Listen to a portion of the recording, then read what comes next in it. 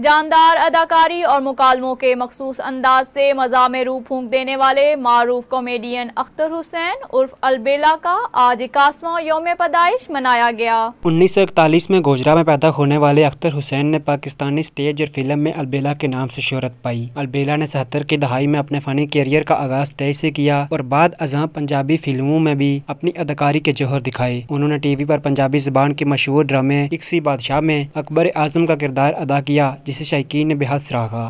ਖਜ਼ਾਨੇ 'ਚ ਕੋਈ ਕਮੀ ਨਹੀਂ ਵੱਡੀਆਂ ਗੱਲਾਂ ਕਰਿਆ ਕਰ ਵੱਡੀਆਂ ਗੱਲਾਂ ਯਾ ਅੱਲਾ ਮਰਸੀਡੀਜ਼ ਤੇ ਹਾਂ ਯਾ ਅੱਲਾ ਇਹ ਮੂੰਹ ਜਿਹੜਾ ਨਾ ਇਹ ਐਡਾ बड़ा ही सोच के उन्होंने अपने करियर के दौरान दो सौ से ज्यादा फिल्मों में अदाकारी की जबकि स्टेज ड्रामों में अलबेला और अमानुल्लाह की जोड़ी ने काफ़ी मकबूलियत हासिल की अलबेला ने मजमू तौर पर दो सौ पंद्रह फिल्मों में काम किया जिनमें शहीद इश्क नचावे गली गली बड़े मियाँ दीवाने तीस मार हाँ इंसानियत के दुश्मन दिल लगी और होशियार ने खूब बिजनेस किया फिल्म रिश्ता में अलबेला का किरदार तो छोटा सा था मगर इसने अख्तर हुसैन को शोहरत की बुलंदियों पर पहुँचा दिया। अपने बरजस्ता फिक्रों से महफल लूट लेने वाले अलबेला। दो हज़ार चार बुला के वाले पुल बुला के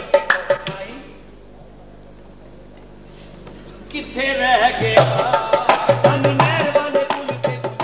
2004 में हरकत कल्ब बंद हो जाने के बायस इंतकाल कर गए, मगर इनकी खट्टी मीठी बातें और वह स्टाइल अदाकारी आज भी शायकीन को हंसा देती है।